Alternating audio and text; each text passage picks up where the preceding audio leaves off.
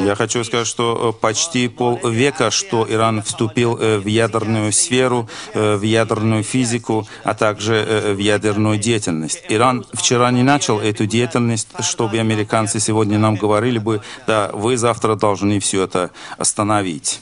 До э, исламской революции первый исследовательский реактор, который был э, создан, это был Тегеранский исследовательский реактор мощностью 5 мегаватт, и, и, и, так сказать, степень обогащения топлива был 93%. До исламской революции э, западные страны, в том числе Германия, Франция, а также и Соединенные Штаты, они конкурировали друг с другом для того, чтобы построить у нас реакторы, атомные станции или запустить запустить у нас э, э, топливный э, цикл.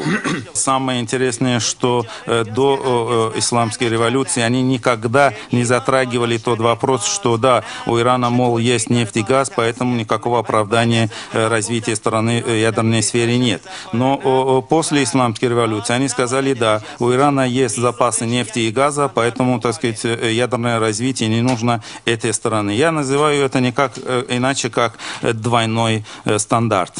Мы э, до исламской э, э, революции должны были новое топливо должны были загрузить в исследовательский тегеранский реактор. Мы с американцами заключили договор, так сказать, суммой на 2 миллиона долларов. Но после исламской, после победы исламской революции они не стали завозить, так сказать, топливо на территорию нашей страны. Немцы получили 8 миллиардов марок за строительство АЭС, но после победы исламской революции они э, бросили работу и э, покинули нашу страну. Может быть, у вас возникнет вопрос, почему Иран должен заниматься э, обогащением.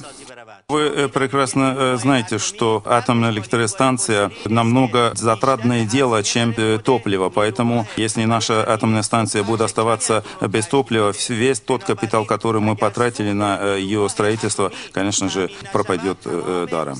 И если вы посмотрите на доклады генерального директора МАГАТЭ, господина Албарадеи, вы увидите, что там есть дата 1987 год. Тогда, когда Иран пошел в сторону обогащения обогащение, э, э, э, самостоятельное обогащение урана. Почему? Потому что мы были разочарованы, так сказать, международным сообществом. Мы начали обогащение, и, к счастью, мы были успешными. Иран полностью владеет промышленностью обогащения. И Иран никогда, так сказать, не бросит мирную ядерную деятельность и обогащение. На прошлой неделе я выступал перед представителями французских СМИ, а также для интеллектуалов э, э, этой страны. Я в Париже выступал. Один э, задал мне такой же вопрос. Он мне сказал, что вот эти вирусы, так сказать, сделали так, что ваши центрифуги в Натанзе уже сломались и не работают. Одна неделя как раз я болею от парижского вируса.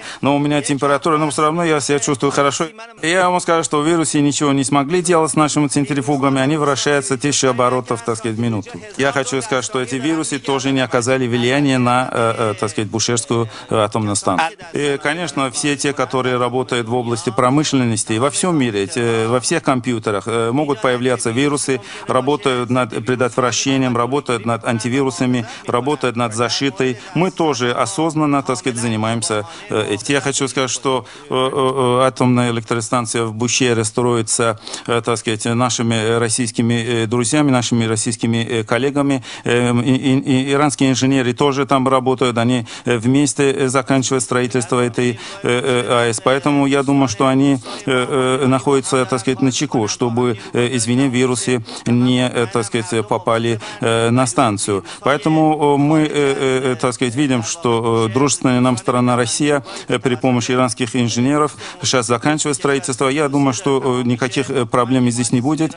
и станция начнет свою работу, и, так сказать, второго Чернобыля там не будет.